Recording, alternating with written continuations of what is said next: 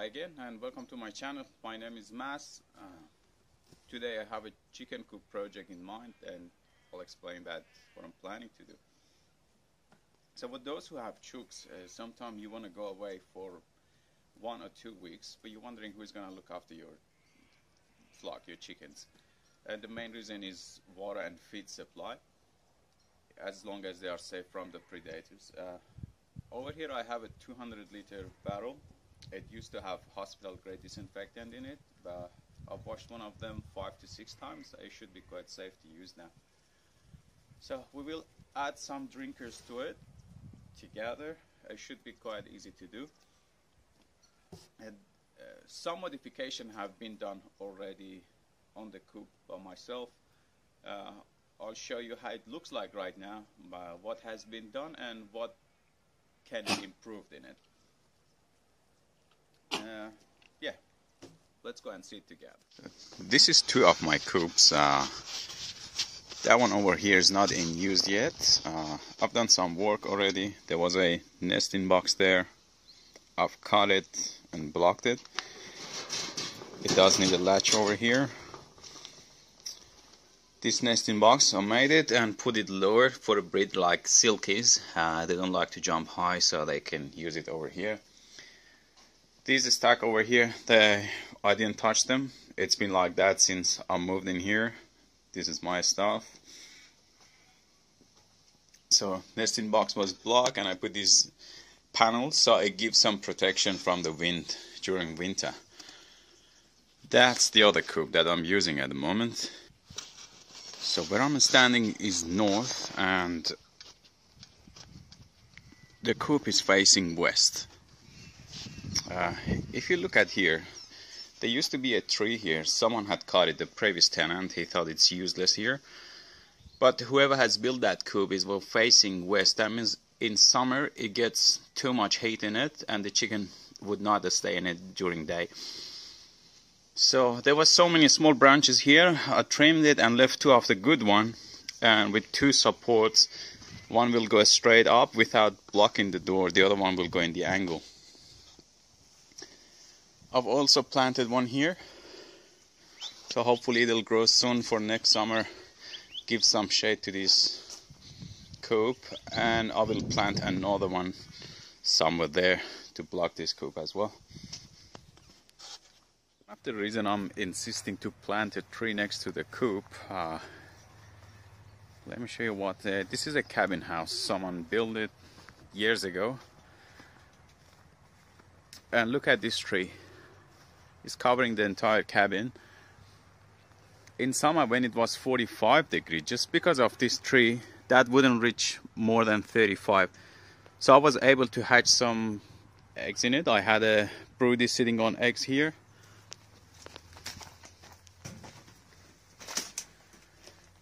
And they were all hatched. One of the silkies hatched six eggs. So look at this tree this is the west side so look at the sun. This is winter sun. Imagine how summer sun would be. It's covering the coop entirely. Well it was a cabin but I'm using it as a coop.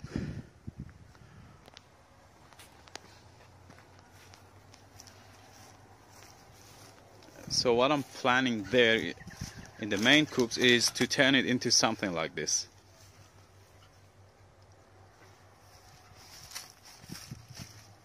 nesting box was here. You could have access from the outside to it. But it was getting too hot and chicken didn't like it and they would lie anywhere in the bush. So I cut it and blocked this area. It kind of gives a bit of protection from the wind. And I moved it here. Over here. The other things I've done is I put two panels here uh, they're sitting about two meters high. Uh, one of the good things about it is if one night I forget to close the coop, a fox walks in and he has to come up with a solution to get to the two meters high. Solution is here. He can jump on this and grab a chicken and run away, but it may not be in a smart fox, so you have a bit of chance to survive.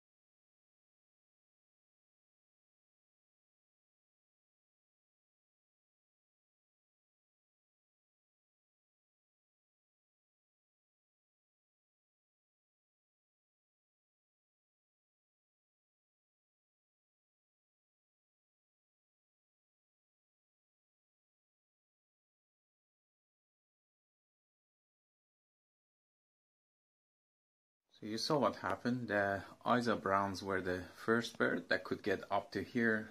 The reason for that is they are much lighter in comparison to Wyandotte. You can see the size. And Isa's got longer legs, so they can jump higher. But Wyandotte, they come up with the idea to go on the nesting box and then jump up to there. The other things I've done, I moved that feeder from here because the wire was getting in the way. I put it right there, still hanging. These four they always sleep on the floor because silkies they prefer to be on the floor and these two Wyandotte they are actually the babies of that little gray silkies. After six months of age they're still sleeping with mom. So I might have to adjust the height of this stick if it's sitting too high. Here is winter, so in the morning when they're landing, it's a bit cold. That can hurt their feet, so especially with no bedding on the floor. And Mr. Bernie is doing the final check on the chickens. So thank you very much for watching. Please subscribe to my channel and to see more updates on these coop projects.